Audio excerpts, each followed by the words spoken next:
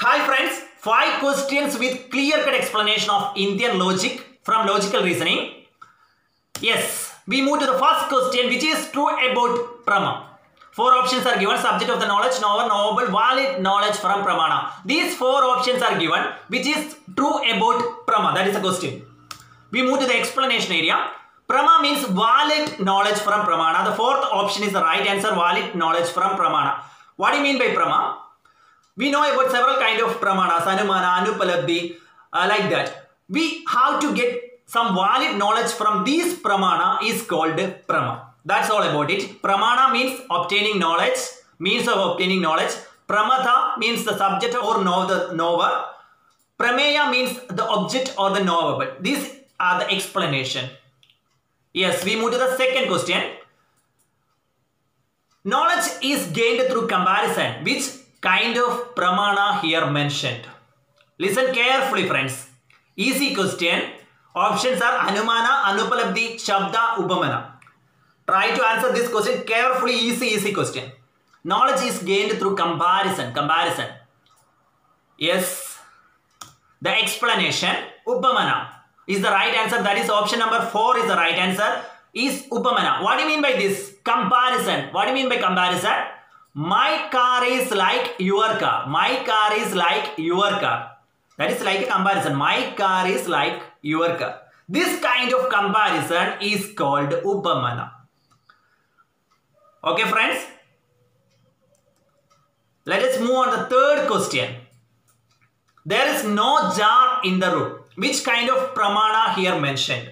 Options are Anumana, Anupalabdhi, verbal testimony, none of these is the option. Try to answer this question. There is no jar in the room. This is a statement given in this question. There is no jar in the room. Here we can see that one kind of non-existence, non-existent. That means there is no car in that place. There is no jug in that room. There is no jar in that room. Like this one is non-existence, non-existence. That, that means that thing is not exist.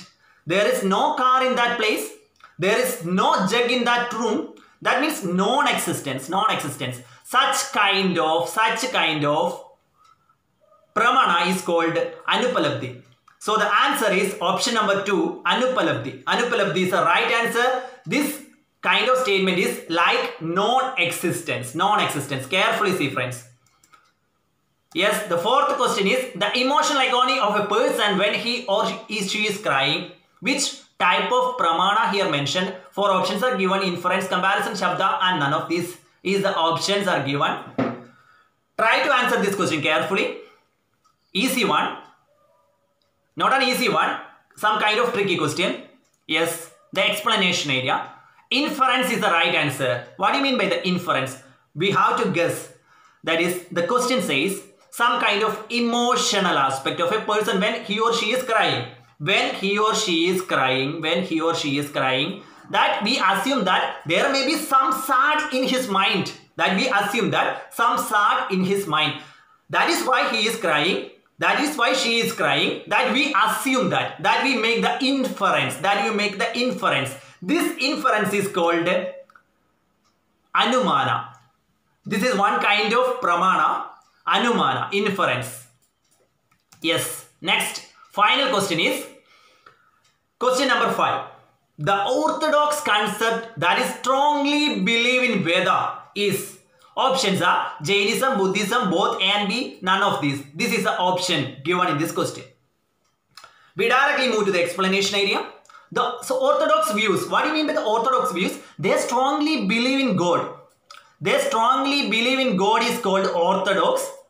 They are not strongly believe in God is called heterodox. In this question, orthodox view that is given in this question, the orthodox concept that strongly believe in Veda.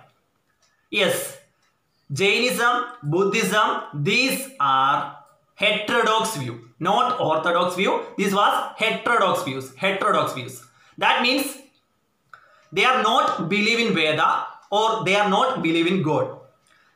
So Jainism is not an orthodox view. Buddhism is not an orthodox view. Both A and B are not right answer. None of these is the right answer. Fourth option is the right answer. Option 4 is the right answer.